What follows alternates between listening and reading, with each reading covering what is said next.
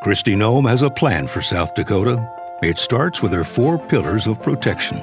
One, veto any tax increases. Two, stop government growth by making it more accountable and efficient for you.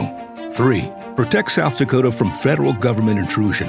And four, make state government and the governor's office more open and transparent. You can read the entire plan at KristiForGovernor.com. Kristi Noem, tested, proven, conservative for governor.